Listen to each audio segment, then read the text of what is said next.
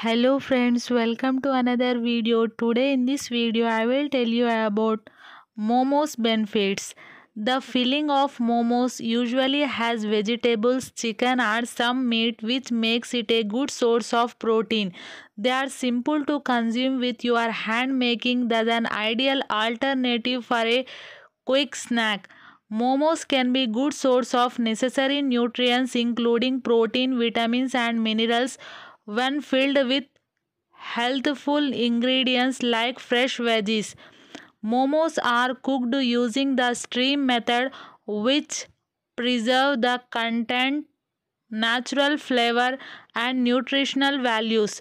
Momos can be relatively low fat food option if they are made with lean meat and little oil.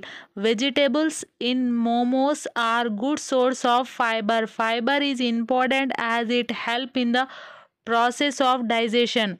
Unlike street food which are fried momos are usually boiled this is minimum oil intake making it a healthy choice Momos contains various vegetables and herbs that are rich in antioxidants which help to strengthen the immune system and protect the body from infections and diseases.